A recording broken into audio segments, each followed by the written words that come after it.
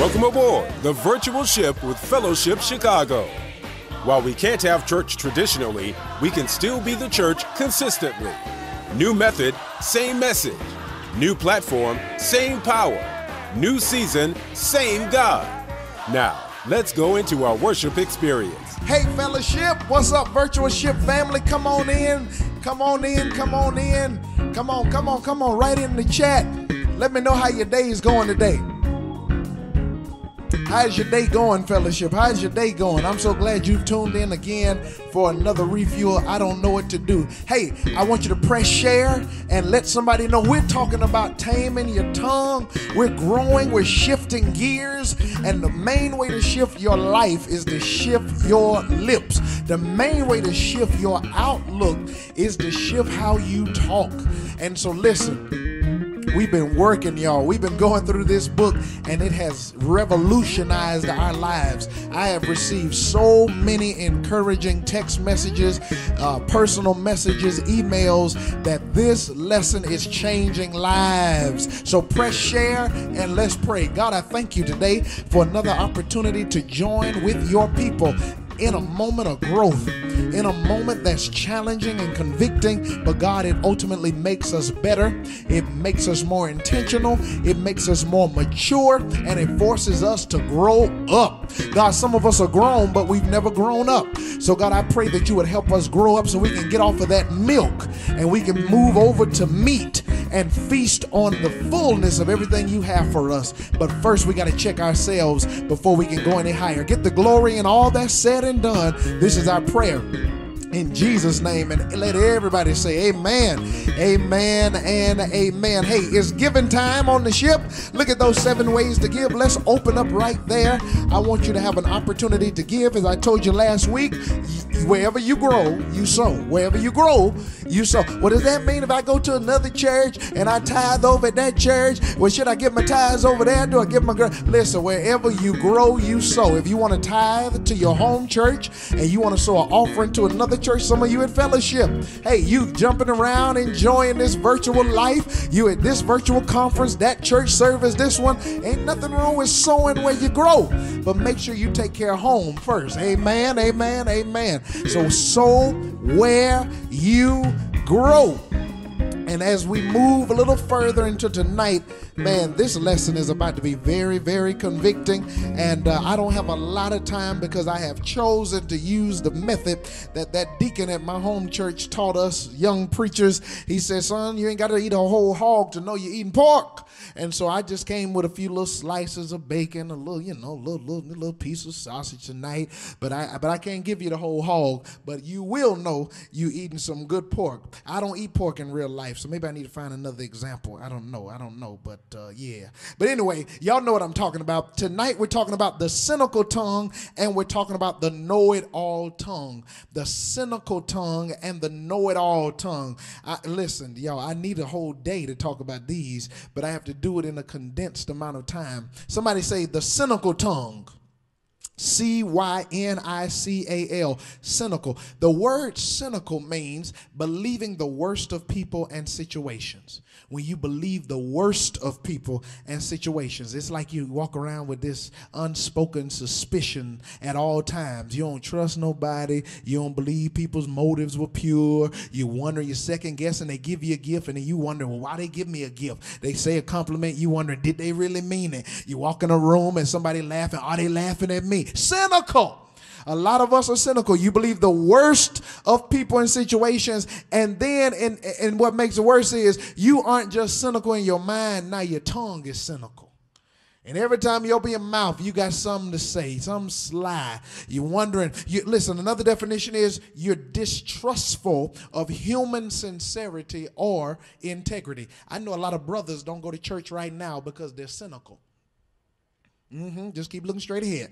A lot of husbands don't go to church. Well, that man, that man of God put on his pants the same way I do. Why y'all be giving him all that attention, putting him up on a pedestal? Well, first of all, nobody should be putting any preacher on a pedestal. But surely, my brother, you're not about to miss God because you're cynical of a man when your faith is not built on a man in the pulpit, but the man who died on the cross for your sins. Listen, there's a lot of people walking. I don't go to no church. I'm spiritual. I'm not religious religious. Yeah, I understand that. That's cute. That's really nice. It's a nice cliche that's been around for the last 10, 10 years. But God is not want, does not want you walking around mistrusting people because sometimes the very person who you think is going to hurt you is the person that's going to bless you.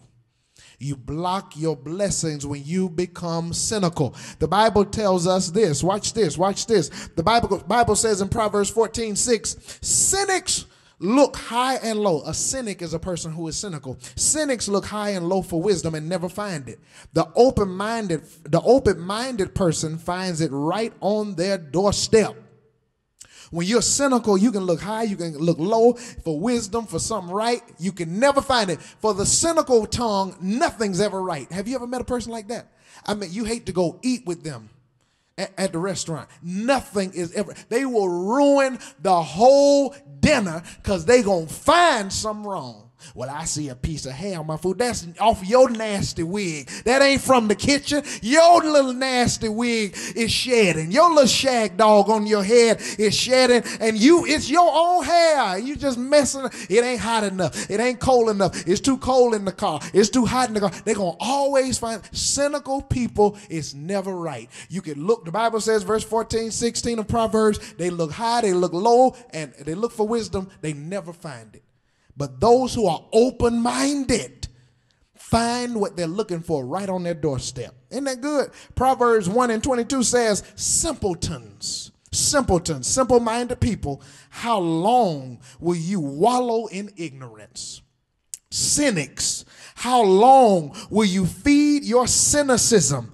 Idiots, how long will you refuse to learn? That's Proverbs 122 out the Message Bible. For you simpletons, for those of you who just you you just thrive on ignorance, how long you to stay ignorant? Cynical people. The Bible says, "How long will you feed your cynicism?" Idiots, how long will you refuse to learn? Isn't that amazing that in this verse of scripture, cynics are placed with simple minded people and idiots. Ooh, don't miss it, don't miss it, don't miss it, don't miss it. Because when you are cynical of everything, you're behaving as a person who is idiotic and simple minded. I mean, eh, stuff ain't always wrong. Here's some notable quotes. I got to keep moving. Cynical people are angry, disappointed, resentful, and mistrustful of those they feel should be acting in their best interests like a rotten apple in a barrel of good ones. A cynic can negatively impact everybody he or she touches. Y'all, I hope you listening to me. If you are a cynical person, and, and, and, here's the thing nobody's really going to tell you this, so you better check yourself before you wreck yourself. That's what we used to say in third grade. Check yourself if you always are in the meeting and you have something bad to say and you never have anything good to say, check yourself. Cynical all you, you don't trust nobody nothing's good enough for you you don't like nothing. See every week me and the staff and some others who are leaders in our ministry we have what we call strengths and opportunities meeting. We we call it we call it the uh we what do we lord what do we call it? We call it uh the check-in conversation check-in conversation. And we review refuel we review sunday morning we review everything that's going on and we have two columns in the meeting. It's about a 30 to 40 minute meeting on a good day. On a good day it's 30 to 40 minute meeting. And uh, and we go down the first side of the list strengths. Everything that was good everything that we liked let's talk about it let's talk about it let's talk about it. And then we move to the other side of the list opportunities Years ago, I learned from a guy you don't call it weaknesses, you call it opportunities. Because whatever you call it, that's what it's going to be. If you call it a weakness, it's going to be a weakness. So we choose to call it an opportunity, a place where we can grow. And some sometimes y'all that list so long on that opportunity side that now around the church, when any program goes on, here's what people say: I don't want to be no opportunity. No, you better fix that because you don't want to be on the opportunity side. Well, well here, here's the science. Here's the science. I could hold the meeting and only deal with opportunities. But guess what that will create in our church? Guess what that will create amongst our staff? A staff full of cynics. A staff full of people who only look for what's wrong. but the fact that we begin the meeting with strengths. Come on. It means I've got to look for what was right. And I got some people on my staff who we've had to check sometimes. And I said, now listen, why do you only speak when we get to the opportunity side? and no, and those people are watching tonight, and you know I love you. You know I love you. It's all good in the hood like it should. But but but the truth is, you don't only want to be a person that got something to say when it's bad because you become no. Here she go again, y'all. Here go, here go. Mother never got nothing good to say. Here go Reverend Doctor never got nothing nice to say. You don't want to be known as that, and you don't want to be cynical. One more quote. One more quote. One more quote. This blessed my life. Cynics must remind themselves that God is in control of every situation. You don't have to try to fix it all, address it all, cover it all, speak to it all. God is still a God. And whenever you think if you don't say nothing, nothing's going to be right, you're trying to play God. And the position of God is already filled. It, wouldn't it be a wonderful thing in your marriage if you were not cynical and you just let God be God and fix certain things? You don't have to say something about everything. Everything you see, you don't have to say it.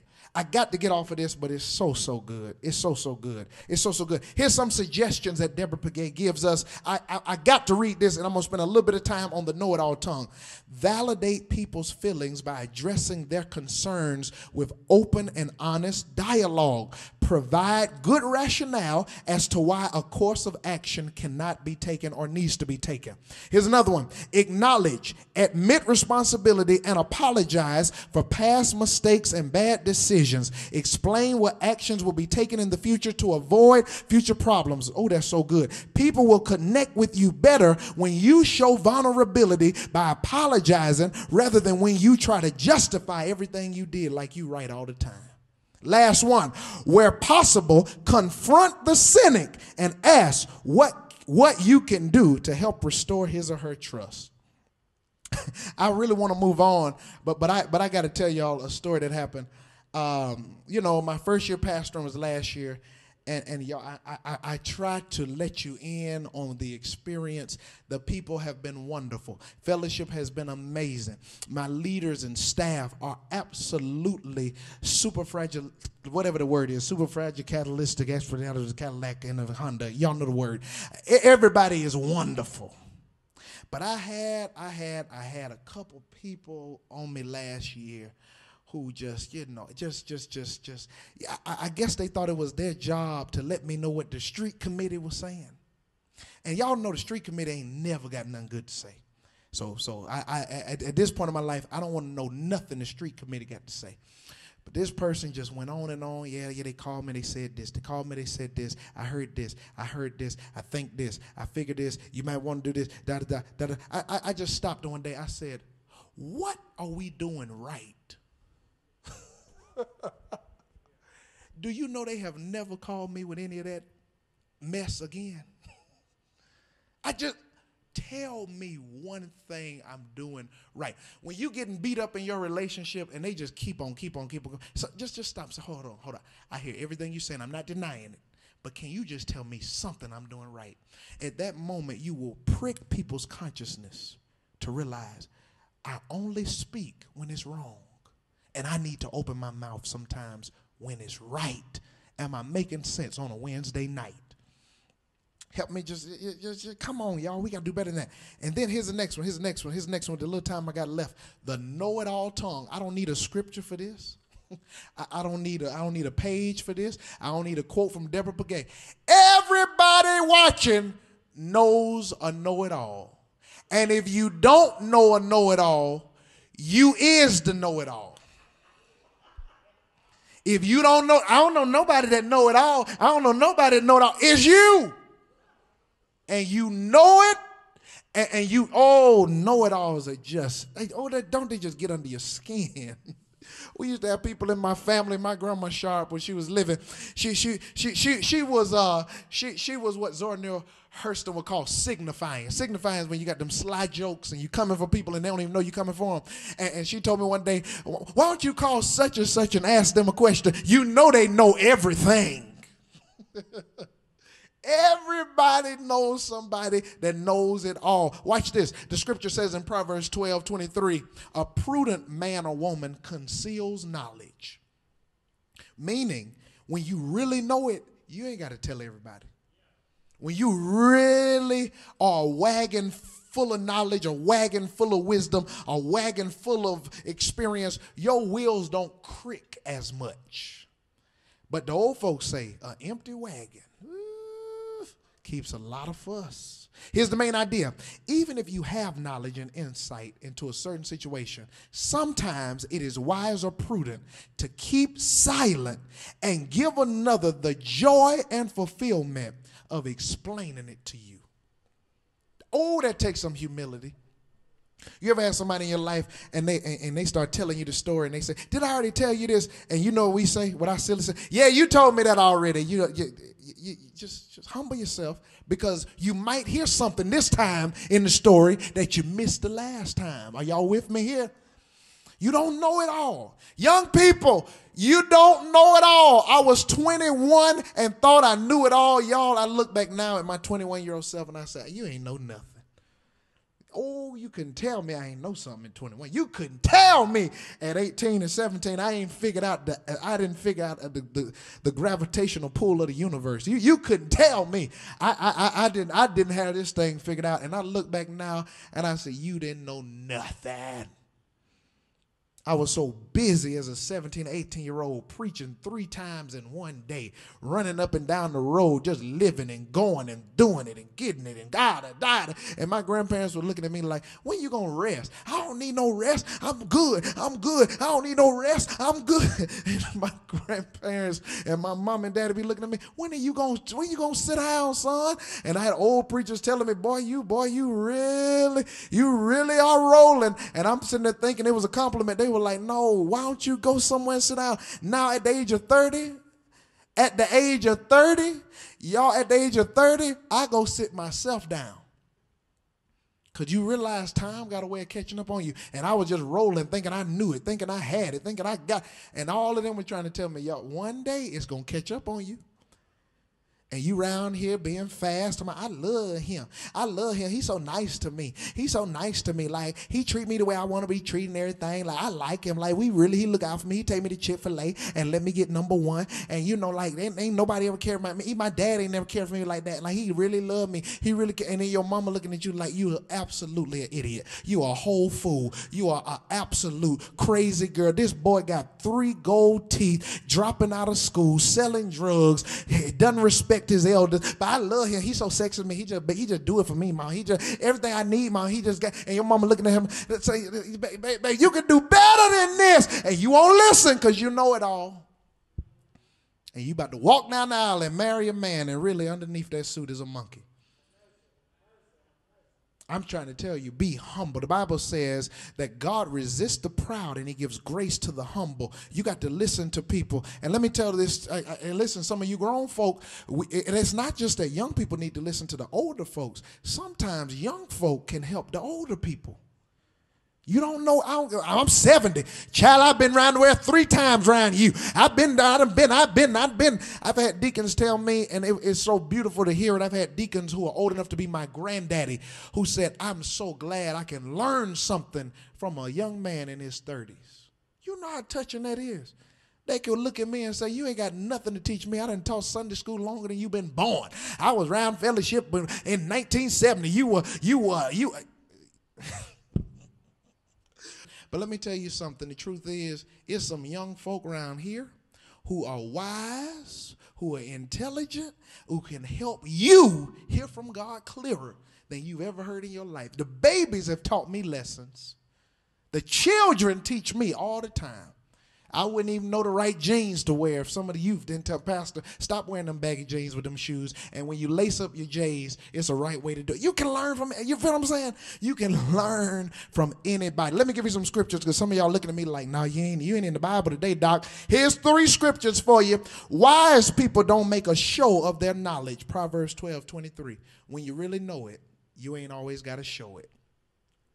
Uh, here's another one, Proverbs 15, 39. If you reject criticism, you only harm yourself. But if you listen to correction, you grow in understanding. Here's another one. Here's another one. 1 Corinthians 8, 1 through 3. Although being a know it all makes us feel important, what is really needed to build the church is love. If anyone thinks he knows all the answers, he is just showing his ignorance. But the person who truly loves God is the one who is open to God's knowledge. I think it was Aristotle or Plato or Socrates. One of them says, I know I am intelligent, for I know that I know nothing. Did I say it too fast? He says, I know that I am intelligent, for I know that I know nothing. The intelligent person knows there's always more that I don't know than I do know. And if you want to grow, I don't care how many years you've been in your field, I don't care how professional you think you are, surround yourself by pores. Everybody needs a cup in your life, and everybody needs a pitcher in your life. Imagine yourself as a glass, and everybody needs a cup, and everybody needs a pitcher. You need the cup so that you can pour some things into others, and you need a pitcher in your life so somebody can pour some things into you. Can I tell you what's changed my life, y'all? And I'm done. What's changed my life being a pastor is that I know, I'm the first one to know, I don't know it all and I will call an older pastor in a minute. I'll call my pastor emeritus, Pastor Charles Jenkins. I'll call some other pastors. I call some teachers. I call some of my old professors. I talk to older members at fellowship because I want to position myself near some pictures. If you are only full of yourself, you will never have space for God. And and and I'm trying to say, well, how, how you make it? You almost two years in this thing as a new pastor, dog. How you doing it, bruh? How you how, how fellowship going, bruh? How everything going up there at the virtual ship, cuz? What you doing up there, man? Y'all killing it. Y'all getting it. No, here's the, the only thing I'm doing is making sure I stay a lifelong learner. I never want to get to the point, and you ought to never want to get to the point where you can no longer grow. Because the moment you stop growing, that's the moment you start dying. I heard my pastor, Dr. E. Dewey Smith, say years ago, he said, The church is not an organization, it's an organism. And anything that is an organism ought to grow. You are an organism, and you ought to grow. If anybody has think they know it all, you're in a position where the only place you're useful is the grave. Mm-hmm. Mm-hmm. Mm-hmm. Do you hear me? If you don't think you can learn something from somebody, the only place you're useful is the grave. I know this. Listen, I'm telling y'all, everything that's in this book hits me before it hits you. And these lessons tonight on the cynical tongue and the know it all tongue, these are life changing words. But I promise you, if you humble yourself under the mighty hand of God, in due time, God will exalt you. My daddy taught me this. He said, You can learn two things from people, no matter who they are smart, intelligent, wise, fools, you know, wealthy, poor. He said, You can learn two things from anybody. Best advice my daddy gave me. He said, You can learn what to do, and you can learn what not to do. You can always learn from anybody. And tonight, that's my prayer for you. Let's pray. God, listen, Lord, you are wearing us out. For those of us who've really opened our hearts and opened our minds, this this stuff is convicting and it makes us want to be better. It makes us want to do better. It makes us want to grow. It makes us want to uh, reflect and do some introspection. So God, we're asking for your help. And God, we're asking that you make us stronger. God, we don't want to be cynical. We, we don't want to be the people who only can speak on the opportunities and never can tell people their strengths. We don't want to be know it alls because we ruin every relationship. Nobody wants to talk to us. Nobody feels safe around us. Nobody feels valued around us because we dominate every conversation. So, Lord, give us a fresh humility. Give us a fresh humility so that we can always be students, even when everybody else thinks we're the star every star can still be a student. This is my prayer. Help us, bring us closer to Jesus. In Jesus' name we pray. Amen. Amen and amen. Listen, y'all, I got to get off the virtual ship. But do y'all remember when Peter had fished all night and he didn't catch nothing? And then Jesus comes in the morning and says, Why, why don't you throw your net on the right side of the boat? Peter could have said, You're not no fisherman, you're a teacher. You don't know what you're talking about.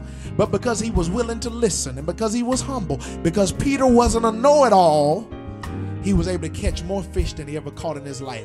Don't miss your biggest catch because you don't have the humility to listen to the advice of somebody to say, why don't you just try this a different way? Y'all, that is so good. That's so good. If you need Christ, come on, he'll change your life. If, if you need a new walk, God will change your life. And if you need that, it's on the bottom of the screen. Email us, text us. The opportunity for you to do that is right there. You have the power, don't forget it, and the authority to change your situation. Come on, sing it with me. You have the power and the authority, and the authority, oh my, to change your situation. Say, speak life, speak life. Come on, speak life, speak life, speak life, speak life. Change your situation.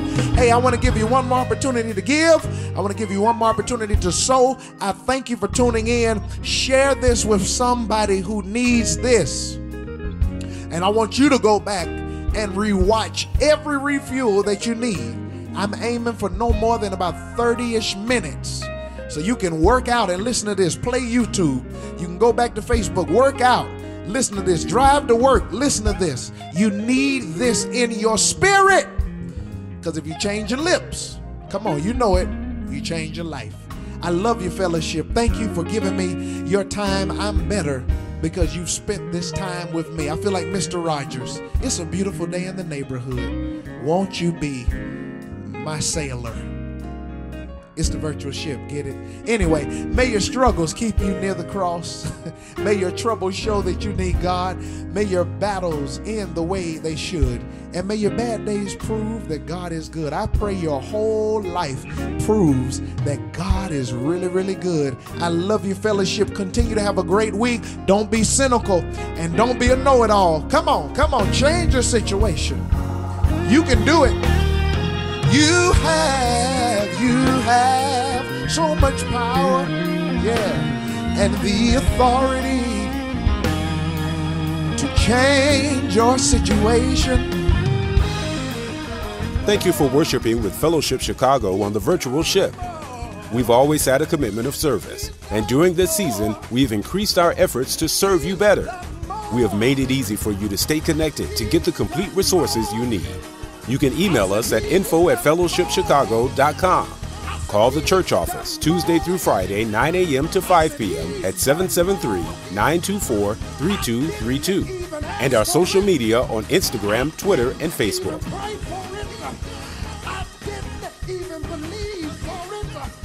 For real time updates, you can text Fellowship Chicago to 31996. We have exciting and informative resources throughout the entire week designed specifically with you in mind. Go to fellowshipchicago.com for the full schedule. Until we dock again, thank you for your prayers and financial support of Fellowship Chicago. Remember, we are in this together.